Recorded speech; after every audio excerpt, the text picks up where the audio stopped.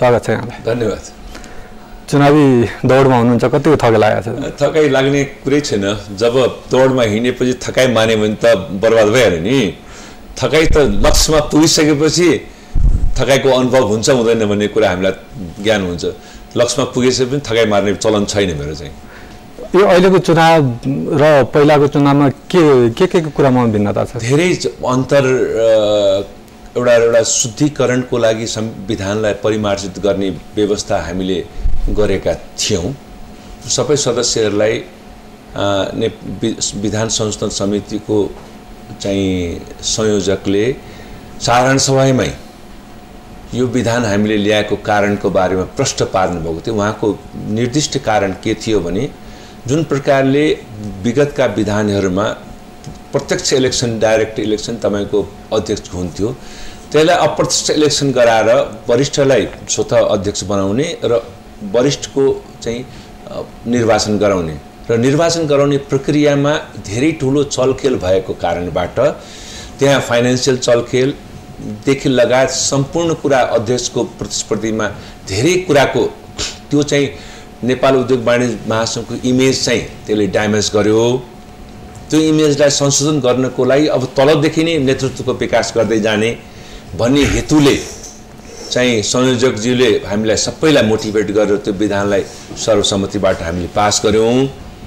तर त्यसको परिणाम चाहिँ हामीले नेपाल उद्योग वाणिज्य महासङ्घले अहिलेको अवस्थामा लिएको जस्तो लागेन। किनभने के भयो भने विधानको स्पिरिट एउटा थियो र खेलको स्पिरिट अर्को भयो।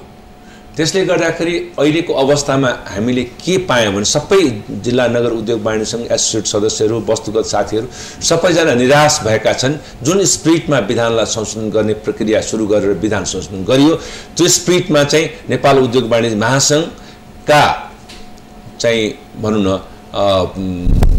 विधान संशोधन समितिको संयोजकले रोल प्ले गर्नु भएन भन्ने कुराको अहिले आवाज प्रशस्त जिल्ला नगर उद्योग वाणिज्य सङ्घ एसोसिएट वस्तुगत सदस्यहरूको साथीहरूको आइरहेको छ। भने सुधार गर्न खोज्नु भयो तर सुधार हुने लक्षण हुन। सकेन। किनभने के भयो भने नि एउटा प्रवृत्ति चाहिँ जुन प्रवृत्तिले चाहिँ नेपाल उद्योग वाणिज्य महासङ्घलाई सधैँ चाहिँ मुठीमा राख्ने प्रवृत्ति जुन एउटा प्रादुर्भाव भएको छ त्यो प्रवृत्तिलाई सबभन्दा पहिले दूर गर्नुपर्छ भन्ने कुराको उद्देश्य हाम्रो विधानको थियो। विधानको मर्म त्यस्तो थियो। तर त्यसले चाहिँ त्यो चिज अहिलेको चाहिँ प्रक्रियाले त्यो चिजलाई देख देख्नमा देखेको छैन। र मान्छेहरू अहिले दुखी भएका छन्। त्यस कारणले त्यो व्यवस्था चाहिँ बहुतै चाहिँ एउटा रियाक्टिभ हिसाबले साथीहरूको आइरहेको म जानकारी गराउन चाहन्छु। तपाईँ आफै पनि महासङ्घको नेतृत्व तहमा हुनुहुन्छ। त्यो कुराहरू जस्तो सुधार गर्ने कुरा त तपाईँले त्यहीँ बसेर नि विरोध गर्नुभयो होला। यो गर्नुपर्छ भन्ने कुरामा कतिको दबाब दिनुभएको एउटा कुरा तपाईँले एकदम राम्रो कुरा मलाई सोच्नुभयो। म तपाईँको मिडियाको मार्फत एउटा अझ म प्रश्न के गर्न चाहन्छु त्यति बेलाको एउटा कन्सेप्ट जुन कन्सेप्ट थियो संस्थालाई मर्यादित रूपमा चाहिँ विकास गर्ने कन्सेप्ट त्यो कन्सेप्टबाट हामीले त्यो विधानलाई सहयोग गरेर विधान स्थापित गरायो वास्तवमा। तर के छ भने नेतृत्व लिने व्यक्तिले त्यो कन्सेप्टलाई जुन प्रकारले हामीलाई मोटिभेट गर्नुभएको थियो त्यो मोटिभेट गरिसकेर पास भएको विधानलाई लागू गर्नुतर्फ उहाँले त्यो कन्सेप्टमा फलो गर्नु भएन। हामी त के छ भने दोस्रो सेकेन्ड लेयरको चाहिँ नेतृत्वमा हौँ हामी। हामी फर्स्ट लेयरको नेतृत्वमा होइनौँ। फर्स्ट लेयरको नेतृत्वकर्ताले जसले कि विधानलाई विधानको बारेमा हामीलाई प्रश्न पारेर सबै साधारण सभामा साधारण सभामै उहाँले भन्नुभएको थियो। सबै हाम्रो के अरे विशेष साधारण सभाको दिन जुन विधान पास गर्ने दिन प्रष्ट रूपमा उहाँले भन्नुभएको थियो कि अब यो चाहिँ पुरानो विधानमा यो विकृतिहरू भएको कारणबाट यो विकृतिलाई समाप्त गर्नको लागि अब डाइरेक्ट इलेक्सन नगरी इन्डाइरेक्ट इलेक्सनबाट चाहिँ अध्यक्षको चयन गर्ने भन्नुभयो। तर अहिले के देखियो भने उहाँले ठिक त्यसको उल्टो काम गर्नुभयो। नेतृत्वले नै। त्यस कारणले अहिले त्यो विधानमा हामीले गरेको सहयोग चाहिँ चाहिँ हामीले राम्रोको लागि गरेको सहयोग चाहिँ राम्रो हुन सकेन भन्ने कुराको दुखेसो हामीलाई छ। र त्यो त्यो दुखेसोको लागि हामीले गरेको हाम्रो प्रयास सफल नभएको भए तपाईँको मार्फत म सबै चाहिँ मेरा मित्रहरूसँग चाहिँ म माफी पनि माग्न चाहन्छु। जुन तपाईँले भन्नुभयो नि नेतृत्वले अलिकति बदमासी गर्यो भन्ने खालको कुरा अब त्यो उहाँले गरेको गल्तीलाई कसरी सजाय गर्ने कसरी सुधार गर्ने भन्ने कुराहरू अब उपाय चाहिँ के देख्नु भएको छ? अब उपाय के छ भने हाम्रो जति पनि जिल्ला नगरका मेरा मित्रहरू हुनुहुन्छ नेतृत्वमा बस्नुभएका जिल्ला नगरका जसले कि विधानलाई पास गर्न सहयोग गर्नुभयो। ज एसोसिएटका जति पनि सदस्यहरू हुनुहुन्छ र वस्तुगतका जति पनि नेतृत्वमा बस्नुभएका नेतृत्व साथीहरू हुन्छ उहाँहरूले नै यसमा अब निर्णय निकाल्नुहुन्छ उहाँले नै यो यसलाई चाहिँ सही दिशा दि दिनतर्फ अब हामी मलाई प्रेरित गर्नुहुन्छ र मैले नेतृत्वमा भइसकेपछि उहाँहरूको सह उहाँहरूको सहयोग र सहकार्य मार्फत त्यसको परिमार्जित गर्ने उहाँहरूको सुझावलाई परिमार्जित गरेर विधानलाई पुनर् पुनर्लेखन गर्ने पनि प्रक्रियामा जान सकिने सम्भावनाहरू मैले देखेको छु जुन प्रकारले साथीहरूको रिक्वेस्टमा कहाँको छ। तपाईँ अब आफै चुनावी दौडमा हुनुहुन्छ तपाईँको उम्मेदवारी किन के को लागि? एउटा कुरा के छ भने सबभन्दा पहिले तपाईँलाई म प्रश्न बनाऊ। आजसम्म नेपाल उद्योग वाणिज्य महासङ्घमा चाहिँ एकाउन्न बाहन्न वर्षको इतिहास हाम्रो उद्योग वाणिज्य महासङ्घको भइसक्यो। यो उद्योग वाणिज्य महासङ्घमा तेह्र पर्सेन्टले राज्य गरिरहेछ एकजनाले बाहेक। जुन जति पनि अध्यक्षहरू आए बाहन्न वर्षको इतिहासमा एकजना बाहेक एकजना भन्नाले? आनन्दराज मौलवी बाहेक। किनभने उहाँ बाहेक जति पनि सतासी प्रतिशत मझौला र साना उद्योगीहरू चाहिँ ओझलमा छ मेरो तपाईँ मार्फत के अनुरोध छ भने सतासी प्रतिशतको नेतृत्व गर्ने मझौला र साना उद्योगीको नेतृत्व गर्नको लागि आज बल्ल बल्ल बावन वर्षको इतिहासमा दोस्रो व्यक्तिको रूपमा म खडा भएको छु। र म उहाँहरूसँग के विनय निवेदन गर्न चाहन्छु तपाईँको मिडिया मार्फत के भने अब तपाईँको पालो आएको छ। तपाईँहरूको तपाईँहरूले आफ्नो चाहिँ यो नेतृत्वलाई आफ्नो आफ्नो समुदायको नेतृत्वलाई एकवटा मौका दिनुहोस्। त्यो मौकाले तपाईँलाई म के विश्वास दिलाउन चाहन्छु भने कि अहिले तपाईँलाई तेह्र पर्सेन्टको जति पनि नेतृत्व गरेका व्यक्तिहरूले सिर्फ आफूसँग कन्सन्ट्रेट भएर काम गरे। उसले सतासी प्रतिशतको उत्थानको लागि चाहिँ न्यून रूपमा काम गरे होला। बुझ्नु भएन तर के छ भने तेह्र पर्सेन्टका व्यक्तिहरू आफैसँग आफ्नै काममा यति ओझेल ओझेल भए कि उसले सतासी प्रतिशतलाई अहिलेसम्म पूर्ण रूपले सन्तुष्टि दिन सकेको छैन। र म विश्वास दिलाउन चाहन्छु कि मैले नेतृत्व प्राप्त तपाईँहरूको सहयोगले नेतृत्व प्राप्त गरेपछि मेरो पहिलो कर्तव्य हुन्छ सतासी प्रतिशतलाई चाहिँ तपाईँको मनोकामना पुरा गर्ने त्यसपछि सत्र प्रतिशतलाई पनि समानुपातिक रूपले इज्जत गर्ने र सम्मान गर्ने उसको समस्याको पनि समाधान गर्ने प्रक्रियामा जाने। तर मेजोरिटी लाई जहिले पनि अहिले अहिलेसम्मको नेपाल उद्योग वाणिज्य सङ्घको इतिहासमा के मेजोरिटीलाई जहिले पनि एउटा चाहिँ कस्तो भन्यो भने कस्तो एउटा भ्रममा राखेर भ्रममा राखेर आफूतिर आकर्षित गर्ने प्रक्रिया चाहिँ भएको छ विगत एकाउन्न बाहन्न वर्षको इतिहासमा। उनीहरूलाई भनौँ न ललिपप दिएर देखाएर चाहिँ आफूले सत्र पर्सेन्टले जहिले पनि राज्य गर्ने अवस्था भएको छ महासङ्घको नेतृत्वमा। त्यसैले यसपाला this the best opportunity for all respective मेरो मेम्बरहरूलाई मेरो रिक्वेस्ट छ तपाईँहरूको नेतृत्व तपाईँहरूको प्रतिनिधित्व गर्नको लागि म अगाडि सरेका छु र तपाईँहरूले मलाई त्यो नेतृत्व गर्ने मौका पूर्ण रूपले दिनुहुन्छ भन्ने विश्वास पनि छ। तपाईँले भनेअनुसार पनि जुन तेह्र पर्सेन्टको कुरा गर्नुभयो उनीहरूसँग सबै थोक पैसादेखि लिएर पहुँच सबै थोक छ त्यसलाई जित्न सक्ने त्यो सामर्थ्य तपाईँसँग छ? मसँग अवश्य छ। किन छ भने नि मैले जब सतासी प्रतिशतको चाहिँ रिप्रेजेन्ट गर्छु भनेर आँटेको छु भने पैसा सबै चाहिँ छैन। भन्नु भने उनीहरू पैसा के को लागि गर्छन्? आफ्नो लागि युज गर्छ उसले। आफ्नो गरेका क्रियाकलापहरूलाई लुकाउनको लागि युज गर्छ। किनभने आज देशमा सत्र प्रतिशतका चाहिँ जनताले सत्र प्रतिशतको उद्योगी व्यवसायीले के गरेको छ त? तपाईँलाई हेर्नु भन्यो भने उसले सिर्फ नेपाल नेपालको कर कर राजस्व चाहिँ छली गरेर छली गर्ने प्रवृत्तिबाट अथवा छली गर्ने एउटा वातावरणबाट हुर्किएको भन्ने कुरा सबैलाई थाहा छ। अहिले पनि तपाईँ उसले चाहिँ खरिद बिक्रीको वातावरण बनाउने सरकारसँग सब चाहिँ आफ्नो एजेन्डालाई चाहिँ पास गराउने चाहे जुन पनि माध्यमबाट होस् पास गराउने र आफू मात्रै माथि बसिरहने। सो सतासी प्रतिशत व्यक्तिलाई चाहिँ कहिले पनि माथि आउन नदिने प्रवृत्तिबाट हावी छ। र मैले के गर्छु भने अब उनीहरूको सम्मान आफ्नो ठाउँमा उनीहरूको सही काममा सहयोग गर्छु गलत काममा विरोध गर्छु। र सबै हाम्रो सतासी प्रतिशतका जनता हाम्रो समुदायको मध्यमवर्गीय र साना समुदायका जति पनि हाम्रा उद्योगिक व्यवसाय छ उसको उन्नतिको लागि चाहिँ म सहकार्य गर्छु। उसले पनि एउटा माथिको दर्जामा सत्र पर्सेन्टमा उनीहरूको पनि चाहिँ आफ्नो सहभागी बनाएर पचास पर्सेन्ट बनाउने प्रयास गर्छु। र पचास पर्सेन्ट जब हुन्छ हाम्रो माथिल्लो दर्जाको उद्योगी व्यवसाय तब देशको आर्थिक अर्थतन्त्रको विकास पनि हुन्छ र अर्थतन्त्र म अगाडि बढेर पनि जान्छ। सधैँ मझौला र के अरे साना मात्रै बनाइराख्यो भने चाहिँ देशको अर्थतन्त्रको विकास नहुने भएकोले मेरो पहिलो कदम के हुन्छन्?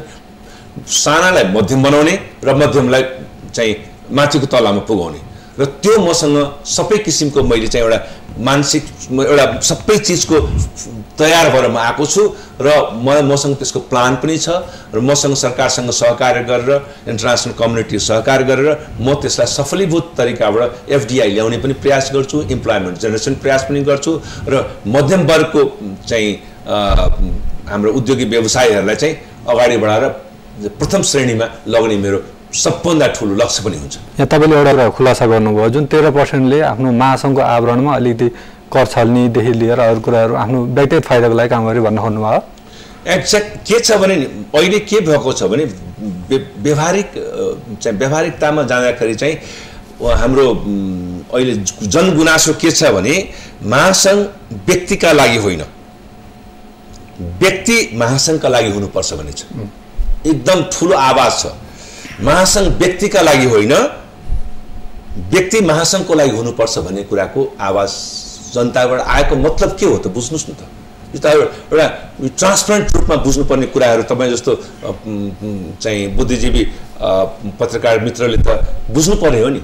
जब जनताहरूले जब उद्योगी व्यवसायहरूले यो प्रष्ट रूपमा अब मार्केटमा आइसक्यो महासङ्घ व्यक्तिको लागि होइन। व्यक्ति महासङ्घको लागि हुनुपर्छ भनेपछि अटोमेटिकली यहाँ यहाँ आफ्नो चाहिँ व्यवसायलाई मात्रै वृद्धि गर्ने भन्ने जुन प्रवृत्तिलाई जुन जुन चलखेल हुन्छ त्यो चलखेल कति छ छैन भन्ने कुरा त प्रष्ट छ नि त यहाँ। मैले भनिरहनै पर्दैन तपाईँलाई। यो त ट्रान्सपरेन्ट रूपमा बजारमा आएको कुराहरू।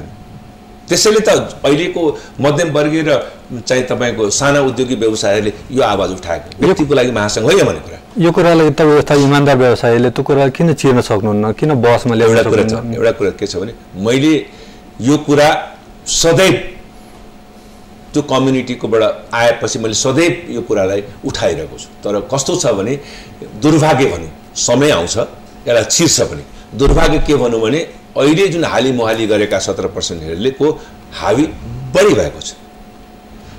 तर जसरी राजाको सत्ता चाहिँ विस्थापित भयो राणा शासन विस्थापित भयो त्यसै गरी मान्छेले जब यो कुरा बुझ्छ मेरो आवाज सबैको मनमा मेरो मस्तिष्कमा जब पुग्छ तब यो आफै बिलाएर जान्छ। यसै पालि बिलाउँछ। र म तपाईँलाई विश्वास दिलाउन चाहन्छु अहिले सबै चाहिँ जिल्ला नगर वस्तुगत र चाहिँ हाम्रो एसोसिएटको म प्रेमीको रूपमा छु। मैले कसैको मन दुखाउँदिनँ। म सबैको स सबैको मनलाई सत्य कुरालाई उहाँको इलिगल कुरा त होइन लिगल कुरालाई सरकारसँग सहकार्य गरेर स्थापित गर्छु भन्ने कुरा मलाई पूर्ण विश्वास पनि छ म त्यो गर्छु पनि। किनभने आज म यहाँ जुन अवस्थामा पुगेको छु त्यहाँ साथीहरूले त्यसैको लागि पुगाएको थियो मैले त्यसैको लागि मलाई सम्मान गरिरहनु भएको छ अहिले पनि र भनि पनि रहनु भएको छ। म कसैको गलत गर्दिनँ र स्पष्ट वक्ताको रूपमा मैले जहिले पनि सरकारसँग पनि पेस भएको छु महासङ्घका कुराहरू नउठाएको होइन उठाएको पनि छु। तर केही कारणवश त्यो आवाजलाई जनतासम्म सही मानेमा पुग्न बेला अलिकति ढिलो भएको भए तापनि अब पुगिसकेको छ।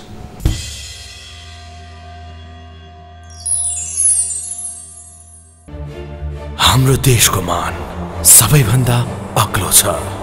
नेपालीको शान अरूभन्दा बेग्लै छ। तराई होस् या होस् हिमाल पहाड नेपालमा छ प्रकृतिको बहार। यही प्रकृतिको काखमा प्रकृतिको वरदानले बनेको अल्फा ओपिसी सिमेन्ट। एक्स्ट्रा क्षमता भएको अल्फा ओपिसी सिमेन्ट नेपालीको शान।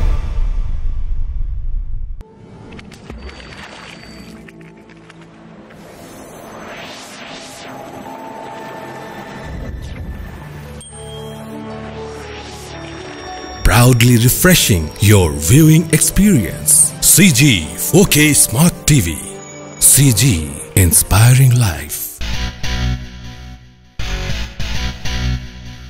जानु छ टाढा चुनौती छन् धेरै पढ्नु छ अघि आफ्नो जे हो सबै शिवम अधिकारको मामलामा no compromise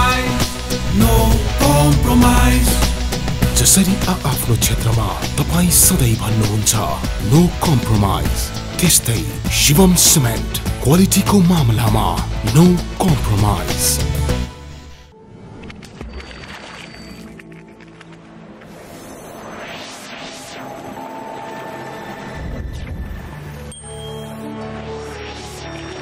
proudly refreshing your viewing experience. CG 4K Smart TV.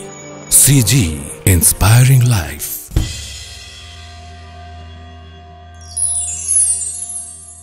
अब महासङ्घको नेतृत्व कस्तो व्यक्तिले गर्ने भन्ने सन्दर्भमा जस्तो व्यापारीहरू बढी हाबी नै छन् नेतृत्वमा अहिले। उद्योगीले गर्ने कि व्यापारीहरूले गर्ने? नेपालमै दुःख गरेर उद्योग धन्दा गरेर गर्ने मान्छेले गर्दा ठिक हुन्छ कि? व्यापार बाहिरबाट सामान आयात गरेर नेपालमा नाफा कमाउने त्यस्ता व्यक्तिले गर्दा ठिक हुन्छ एकदम तपाईँले एकदम इम्पोर्टेन्ट क्वेसन के सोध्नु भने देशमा इम्प्लोइमेन्ट जेनेरेसन गर्ने व्यक्तिहरूको नेतृत्व हुनुपर्छ कि तपाईँको इम्पोर्ट गरेर चाहिँ इमिडिएट कमाउने व्यक्तिहरूको हुनुपर्छ भनेको जुन प्रश्न छ यसमा म तपाईँलाई के भन्छु भने यो साझा सङ्गठन हो हाम्रो। उद्योग र व्यापार वाणिज्य दुइटैको साझा सङ्गठन हो। नेतृत्व कसले गर्नुपर्छ भन्ने कुरामा चाहिँ जो नेतृत्वकर्ताको भूमिकामा प्रखर हुन्छ उसले गर्नुपर्छ भन्ने कुराको मान्यता हामीसँग छ।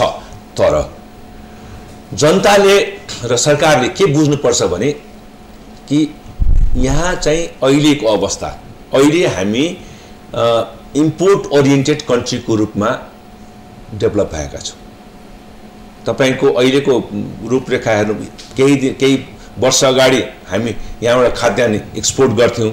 अहिले तपाईँलाई मोर देन सिक्सटी पर्सेन्ट चाहिँ हामी खाद्यान्न इम्पोर्ट गरेर खाने व्यक्तिको रूपमा स्थापित भएका छौँ। त्यसैले सबैभन्दा ठुलो कुरा त्यसैले अहिले तपाईँको व्यापारी समुदायको हाली मुहाली बढी भएको छ उद्योगीभन्दा। किनभने त्यहाँ चाहिँ इमिडिएट पैसा छ नाफा पनि छ।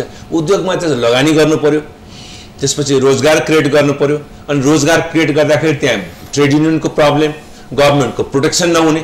त्यसले गर्दा मान्छेहरूले त्यतातिर भन्दा पनि सर्ट गेमतर्फ तर्फ चाहिँ मान्छेले ध्यान दिनु स्वाभाविक कुरा देख्यौँ हामीले देख्यौँ।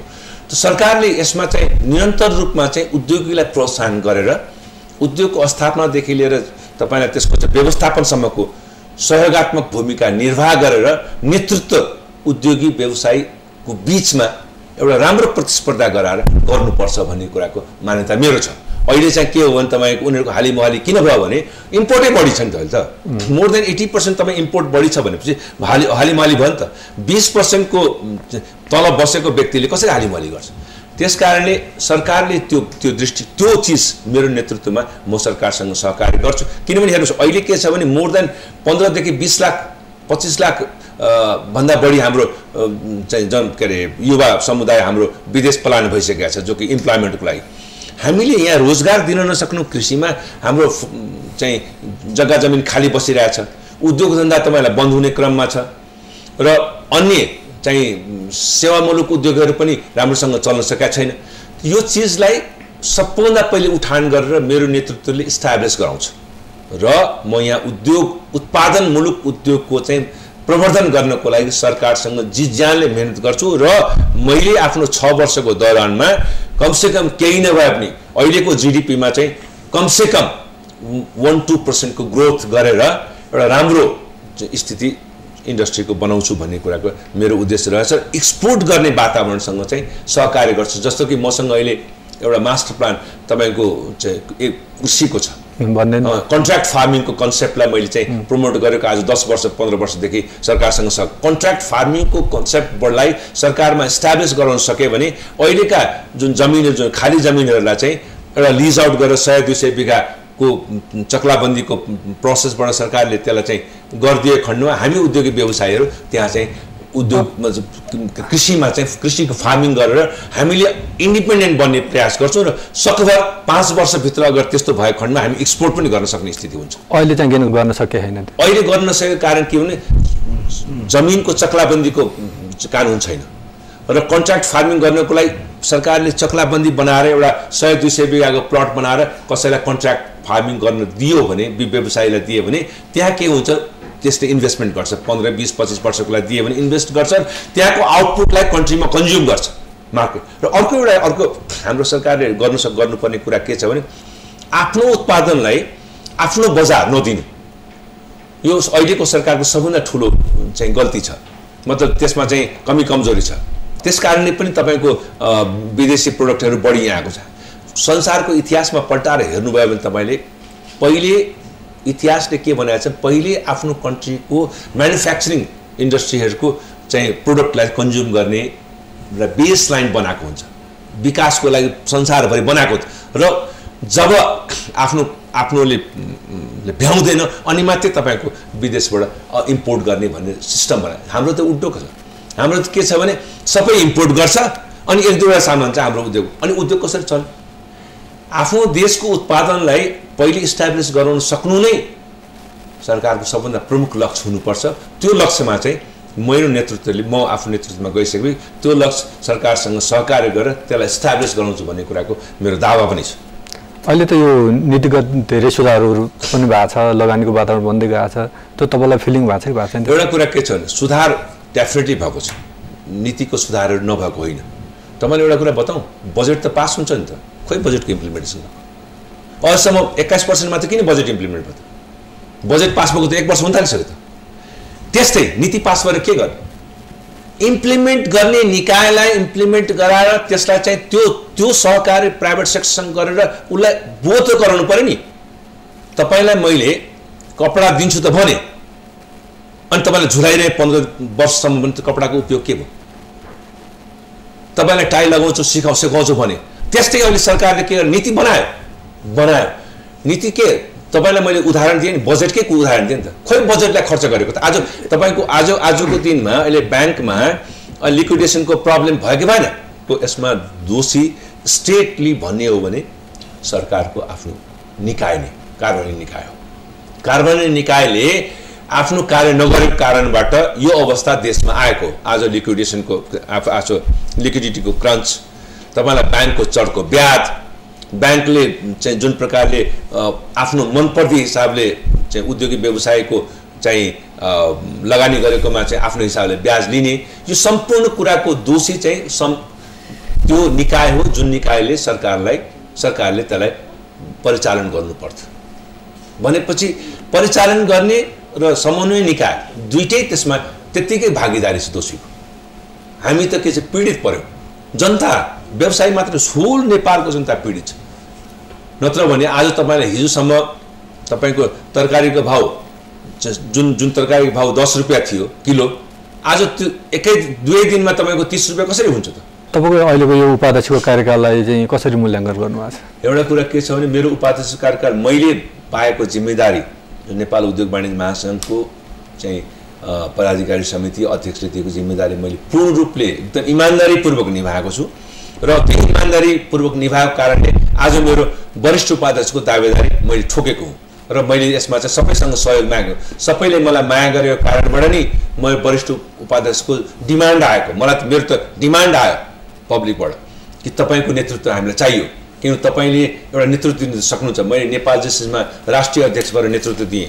उद्योग वाणिज्य के अरे उद्योग सङ्गठन मोरङमा मैले अध्यक्षबाट नेतृत्व दिएँ। पूर्वाञ्चल उद्योग वाणिज्य चाहिँ सङ्घको पूर्वाञ्चलको अध्यक्षबाट नेतृत्व दिएँ। तपाईँले दुई तिन ठाउँमा नेतृत्व दिएर स्थापित भइसक्नु तपाईँको नेतृत्व असाध्यै राम्रो देखियो। तपाईँको काम कारबाही नेतृत्व भयो काम कारबाही देखियो भनेर नेतृत्वको लागि मलाई साथीहरूले आग्रह पनि गर्यो र म नेतृत्वमा अगाडि पनि बढेँ। त्यही कारणबाट भोलि तपाईँ अब वरिष्ठ उपाध्यक्ष हुनुहोला होइन अध्यक्ष नै हुनुहोला। त्यसपछि तपाईँले एउटा व्यवसाय क्षेत्र निजी क्षेत्रलाई प्रोटेक्सन गर्ने उनीहरूलाई संरक्षण गर्ने मुलुकको आर्थिक विकासको कुराहरूमा म यसरी काम गर्छु भन्ने एउटा केही मोडल बनाउनु मेरो। खाका तयार छ। मैले तपाईँले यो यो खाकामा धेरै मैले जुन म्यानिफेस्टो मैले रेडी गरिसकेको छु यो म्यानिफेस्टोमा मैले पढ्यो भने तपाईँको समय जान्छ। तर एउटा कुरा म तपाईँलाई प्रष्ट रूपमा के भन्न चाहन्छु भने महासङ्घको नेतृत्व अवसर कुनै व्यक्तिहरूलाई प्रतिष्ठित बनाउन व्यक्तिको संरक्षण गर्न व्यक्तिगत फाइदा पुर्याउनको लागि होइन। मैले मलाई नेतृत्वमा ल्याउनु भयो भने साथीहरूले मैले नेतृत्व गर्ने पायो भने मेरो नेतृत्वले चाहिँ एउटा नयाँ दिशाको स्थापित बोध गराउँ साथीहरूलाई। र मैले चाहिँ नयाँ दिशातर्फ चाहिँ यो हाम्रो आर्थिक अर्थ अर्थतन्त्रलाई सरकारसँग सहकार्य गरेर अन्तर्राष्ट्रिय क्षेत्र सहकार्य गरेर एउटा स्ट्याब्लिस्ड नर्म्स बनाउँछु। त्यो नर्म्समा मेरो साथीहरूले पछि गर्व गर्नुहुन्छ कि किशोर प्रधानको पालामा चाहिँ असाध्यै राम्रो काम भएछ आर्थिक विकासको लागि। तपाईँले यो भन्नुभयो त्यही कुराहरूको लिन भन्नु होला। अब तपाईँ आफै महासङ्घले पूर्व अध्यक्षहरूलाई समेटेर एउटा सम्मानका साथ उनीहरूलाई लान नसकेको अवस्था छ छुट्टै सङ्गठनहरू खुलेको अवस्था छ। त्यो भोलि तपाईँले त्यही गर्नुहुन्छ भन्ने कसरी विश्वास गर्ने हामीले? एउटा कुरा तपाईँलाई बताइदिन्छु। के छ भने नि म नेतृत्वमा गएपछि म मैले चाहिँ सम्मान गरेर सिकेको छु। किनभने मेरो चाहिँ एउटा आफ्नो क्यारेक्टर छ जसले कि मैले कसैलाई पनि म चाहिँ दुखी गर्ने मेरो उद्देश्य हो। आज महासङ्घ किन तपाईँलाई महासङ्घका नेतृत्वकर्ताहरूले किन भूतपूर्व अध्यक्षहरूलाई आफ्ना चाहिँ भनौँ न तिनीहरू त एउटा पिलरहरूलाई किन चाहिँ तिरस्कृत गर्यो अथवा बहिष्कृत गर्यो? उनीहरूलाई किन सम्मान दिन सकेन? त्यो सम्मान नदिन सकेको कारणबाट महासङ्घको ले के गर्यो भने तपाईँलाई हाम्रो विनोद चौधरीलाई सब सर्व सम्मान गर्न नसकेको कारणबाट उहाँको ले एन के अरे तपाईँलाई सिएनआई खोल्नुभयो। हाम्रो चाहिँ अर्को पूर्व अध्यक्षले एनबिआई खोल्नुभयो। त्यस्तै अरू पनि चाहिँ भातृ संस्थानहरूले तपाईँको डिफ्रेन्ट अब पोलिटिकल पार्टीहरूले आफ्नो संस्थान खो यो ऊ खोल्यो व्यावसायिक संस्थानहरू खोल्यो। किनभने नेपाल उद्योग वाणिज्य महासङ्घको नेतृत्वमा बस्ने जति पनि साथीहरू यस बिचमा हुनुभयो उहाँहरूले आफ्नो पूर्वजलाई सरसम्मान तरिकाबाट सम्मान आफ्नो ठाउँमा दिन नसक्नुभयो कारण हो जस्तो मलाई लागेको छ। सिआनआई जस्ता संस्थाहरूलाई पनि तपाईँले एउटै छातामा ल्याउन सक्ने अवस्था केही छ? डेफिनेटली डेफिनेटली मैले अगर आफ्नो कार्यबाट प्रभावित गर्न सकेँ भने सेनाई जस्तो संस्था सबै एनबिआई सेना जस्तो संस्थाहरू अटोमेटिकली मर्स हुन्छ। किनभने यहीँबाट छुटेर गएका साथीहरू हो नि त। एउटै परिवारका साथीहरूलाई परिवारमा संलग्न गर्ने जुन क्षमता मका छ त्यो क्षमतालाई म त्यहाँ डेफिनेटली आफ्नो आफ्नो प्रभावले आफ्नो कार्यको प्रभावले उनीहरूसँग सहकार्य गरेर उनीहरूलाई त्यस छातामुनि ल्याउने मेरो प्रयास रहन्छ। आज हामीले कुरा अ, नेपाल उद्योग वाणिज्य महासङ्घका उपाध्यक्ष किशोर कुमार प्रधानसँग। अर्को हप्ता नयाँ व्यक्ति र नयाँ विषयका साथ उपस्थित हुनेछौँ। तबसम्मलाई बिदा दिनुहोस्। नमस्कार।